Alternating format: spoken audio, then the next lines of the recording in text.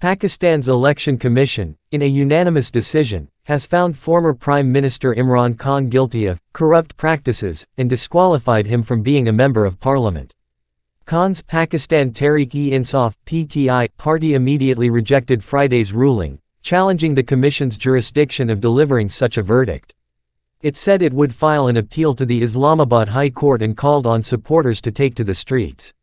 The case against Khan was filed in August by a member of the Pakistan Muslim League Nawaz PMLN contending that the former prime minister had bought gifts given by foreign dignitaries from the State Gift Depository, also called Toshakhana, but did not disclose the assets in the declaration submitted to the commission.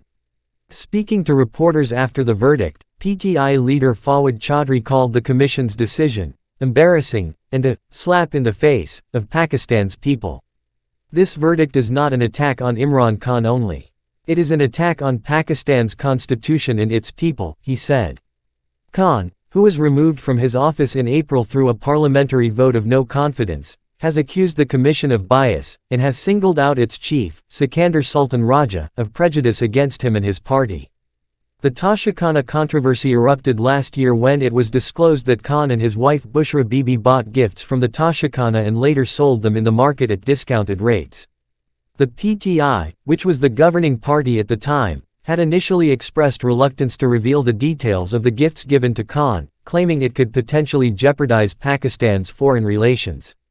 The Gift Depository is a government department created in the 1970s, which stores gifts given to rulers, lawmakers, government officials and functionaries by heads of states and other foreign dignitaries.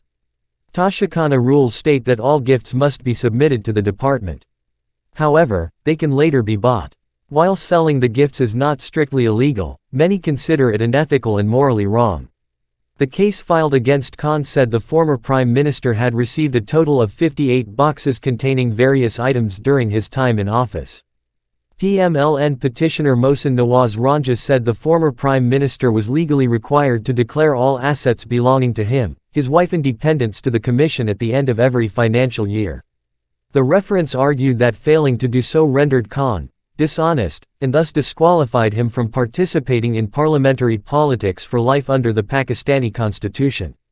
Khan was also accused of, deliberately, hiding the gifts that he bought from Toshakhana, but later confessed to having sold these gifts, without disclosing the details to the commission.